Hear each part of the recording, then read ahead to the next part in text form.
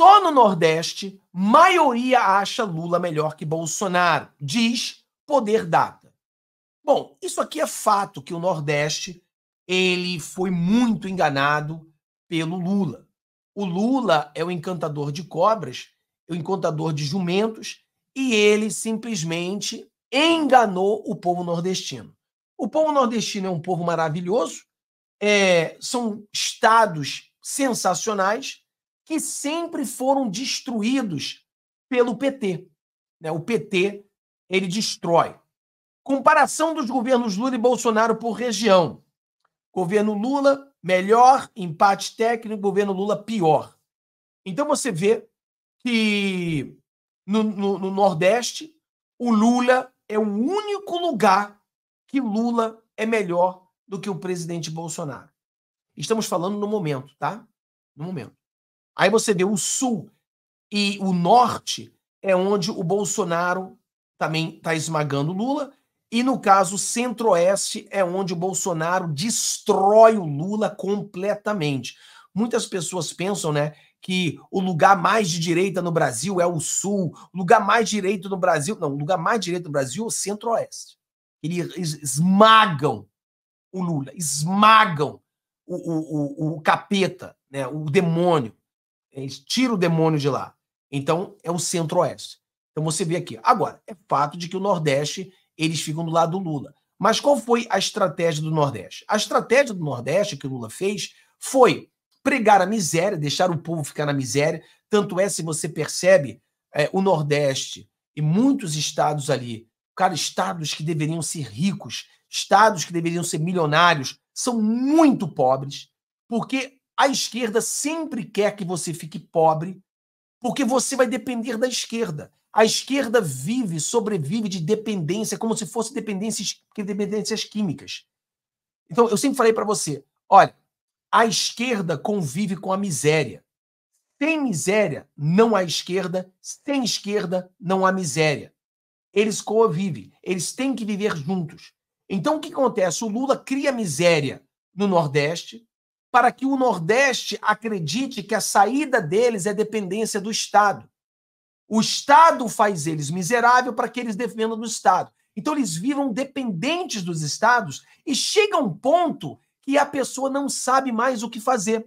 É tão dependente do Estado que ela não sabe se ela consegue sobreviver sem o Estado, porque o governo prega isso para as pessoas. Sem o Estado você morre. Sem o Estado você não vai ter dinheiro. Sem o Estado você não vai ter comida. Então eles precisam do Estado. Por isso que muitas dessas regiões tem mais pessoas ganhando Bolsa Família do que trabalhando.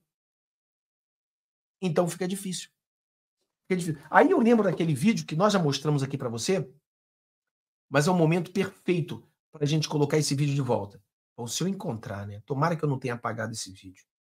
Tomara que eu não tenha apagado ele, porque é um vídeo perfeito. Aqui, não apaguei, graças a Deus não apaguei. Esse vídeo aqui é perfeito para essa, essa colocação. Olha isso aqui. Lembra que a gente mostrou esse vídeo para você? Olha só. Isso aqui é exatamente o que a esquerda faz. Ó. Por que o Brasil é um país pobre? O Brasil tem 203 milhões de habitantes. Deles, 20, 40, 56 estão no Bolsa Família. 20 com 19, 39 são aposentados e pensionistas.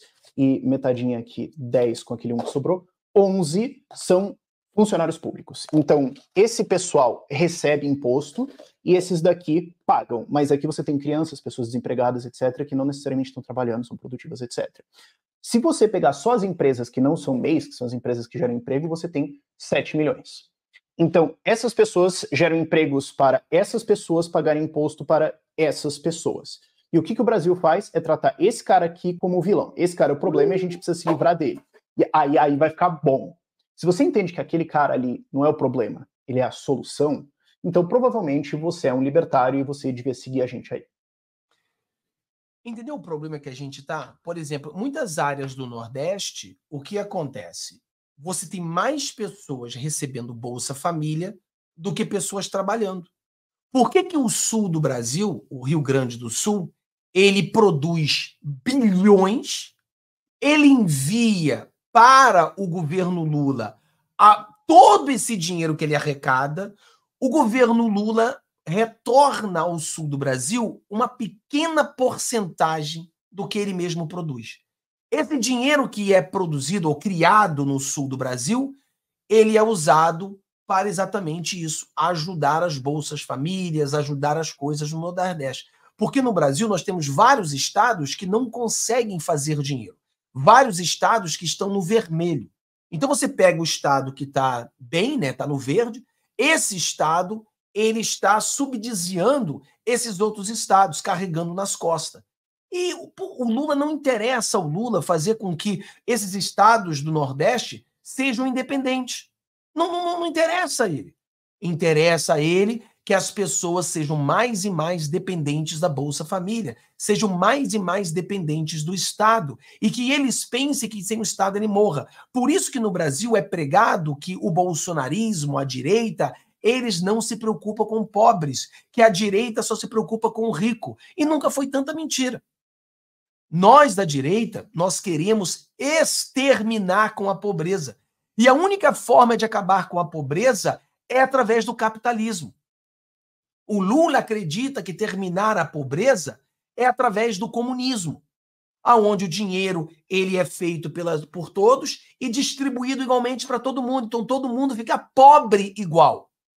Várias pesquisas já foram feitas. Se nós pegarmos todo o dinheiro do Elon Musk, todo o dinheiro do Bill Gates, todo o dinheiro das pessoas mais ricas do mundo, os bilionários, e dividir esse dinheiro para toda a população, ela não vai ficar mais rica. Mas os bilionários ficariam pobres. Entendeu? Então essa é a realidade. Tudo o que acontece de bom na sua vida é pelo capitalismo. Eu já falei e dei exemplos para as pessoas, um exemplo bem prático para você tentar explicar uma pessoa é assim: tudo o que ela tem de bom foi dado pelo capitalismo, pelo mercado livre. Por exemplo, você tem um carro, capitalismo. Você tem um iPhone, um telefone, capitalismo. Você tem um computador, capitalismo. Você, entendeu? Você tem comida, capitalismo. Entendeu? Você tem uma geladeira, capitalismo. Agora, o que, que você não tem? Fábio, minha rua não tem saneamento básico. Governo. É o Estado. Fábio, na minha, minha rua falta luz. Estado. Fábio, na minha rua falta água. Estado. A saúde, Fábio, na minha, na minha cidade é uma merda. Estado. Fábio, onde eu moro não tem segurança. Estado. Tudo que o Estado deveria providenciar para você é uma merda. É uma merda. Tudo que vem do Estado é uma merda. Então a gente começa a entender. A gente começa a entender o porquê que eu preciso do capitalismo. E o capitalismo é que, pessoal, eu sou prova de que o capitalismo funciona. Eu cresci no morro do Rio de Janeiro. Hoje eu moro na Califórnia.